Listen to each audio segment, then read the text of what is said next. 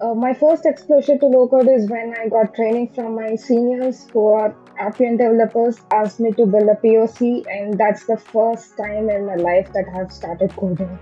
To tell truth, I was like very scared, but once I go through the Appian documentation and the community, I was like, this is pretty easy. Let me give it a try. And I was like, there's no stop till now for the past two years, I was been working in one of the applications which is right now in production and people are using it.